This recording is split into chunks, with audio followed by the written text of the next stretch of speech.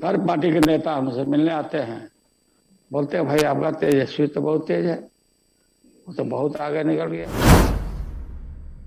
जो वर्कर है, कार्यकर्ता है, नेता है, कहीं भी जाए तो हारा गमछी ज़रूर रखे। वो लाइसेंस है। आरजेडी सुप्रीमो लालू प्रसाद यादव लंबे समय बाद पार्टी के पदाधिकारियों से आज सीधे दिल्ली से वर्चुअल माध्यम से जुड़े और आरजेडी सुप्रीमो ने अपनी बातें रखी। इस दौरान आरजेडी सुप्रीमो लालू प्रसाद यादव ने पार्टी के पदाधिकारियों को कई दिशा निर्देश भी दिए। आरजेडी चीफ ने सबसे बड़ी बात जो कही वो आपको बता दें कि आरजेडी सुप्रीमो ने अपने पार्टी के नेताओं को कहा है कि आप जहाँ भी जाएँ, हरे रंग का गमछा अपने कंधे पर ज़रूर रखें और ये पहचान है आरजेडी के नेताओं की। तो बड़ी खबर इस वक्त के आपको दे रहे हैं? आरजेडी सुप्रीमो लालू प्रसाद यादव दिल्ली से वर्चुअल माध्यम से जुड़े थे पार्टी के पदाधिकारियों और नेताओं के साथ। और इस बीच आरजेडी सुप्रीमो ने कई टिप्स दिए हैं, लेकिन लालू प्रसाद यादव ने जो सबसे बड़ी बात कही आरजेडी नेताओं को, उनके पहचान को लेकर कहा है कि हरे रंग का झंडा रखिए, ये आरजेडी का झंडा है, और हरे रंग की गमछा अपने कंधे पर लेकर चलिए। गमछा ही आपकी निशानी है, आपकी पहचान है, अगर आप किसी दफ्तर में जाते हैं, किसी अधिकारी के पास जाते हैं तो वो भी समझ जाएँगे कि ये पार्टी का नेता है, पार्टी का कार्यकर्ता और आपके साथ अन्याय नहीं होगा। यानी कि लालू प्रसाद यादव ने सीधे तौर पर बातें कही है कि बिहार में उनकी सरकार आने वाली है और आपके कंधे पर जब गमछा होगा, आपके गले में जब गमछा होगा, तब पदाधिकारी तो दूर से ही पहचान जाएँगे कि आप पार्टी के नेता हैं और आपको न्याय मिलेगा, आपकी बातें सुनी जाएगी। क्या कुछ कह रहे हैं आरजेडी चीफ? जरा आप सुनिए। स्वीकारा है एक्सेप्ट किया है, सब लोगों ने एक्सेप्ट किया है। हर पार्टी के लोग किया है देश भर से लोग यहाँ हर पार्टी के नेता हमसे मिलने आते हैं। बोलते हैं, भाई आपका तेजस्वी तो बहुत तेज है। तो बहुत आगे निकल गया। बहुत आगे निकलेगा। तो बस हम लोग को ध्यान रखने की ज़रूरत है, काम को कंट्रोल में रहे काम को आगे बढ़ाइए। हर को मौका मिलेगा, हर आदमी को चुनाव लड़ने का मौका मिलेगा ही। अब जो हार जाता है, फिर भाग जाता है। दल बदल देता। या जिसको टिकट नहीं मिला दूसरे दल को मिला तो जिसको पहले टिकट मिला था वो हराने में लग जाता है। किसको हरा देंगे तो सीट खाली हो जाएगा तब वो टिकट मिलेगा। ये ठीक नहीं बात है।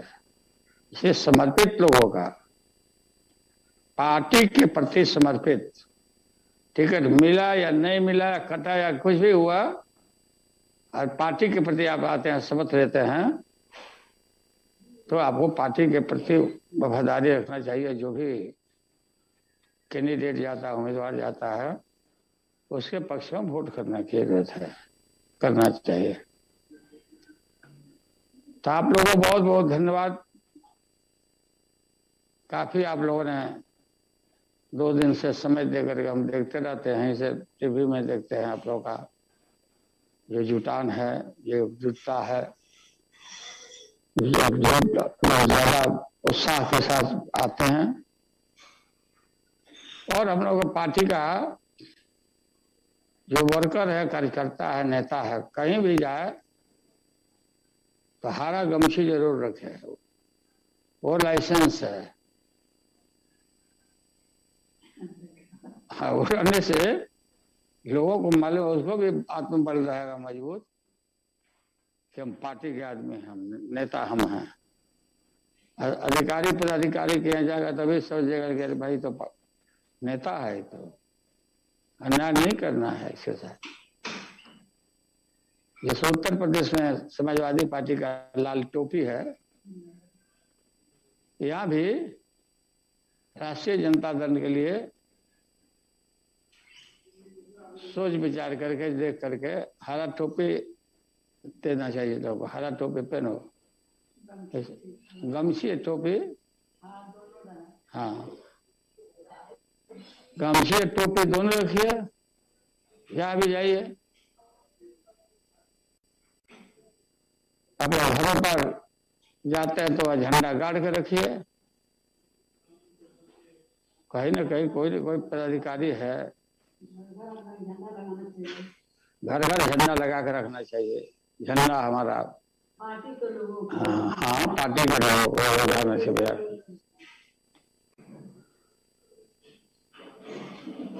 बोल रहे राबड़ी देवी जी की पार्टी के लोगों को घर घर में झंडा लगाना चाहिए।